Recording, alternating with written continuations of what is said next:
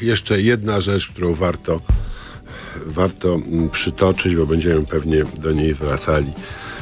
To jest y, mm, w dzisiejszym y, Super Expressie, dawno go nie cytowałem i słusznie. Y,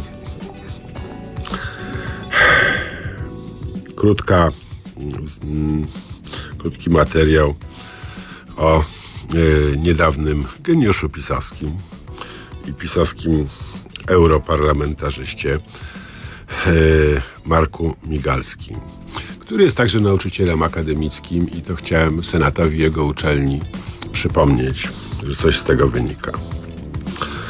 Migalski napisał tak. Rozumiem rację matek. Y, to jednak chciałbym, żeby one zrozumiały rację takich osób jak ja, które nie życzą sobie, by kobiety wyciągały nad moim talerzem cycek Karmienie jest czynnością naturalną, tak samo jak dla innych puszczanie bąków, sikanie czy plucie.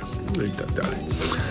E, chciałbym, żeby e, Senat Alma Mater pana Migalskiego zastanowił się, czy to poniża uczelnię, kiedy takie rzeczy opowiada mm, nauczyciel akademicki, czy to jest w porządku, czy to panom profesorom nie przeszkadza.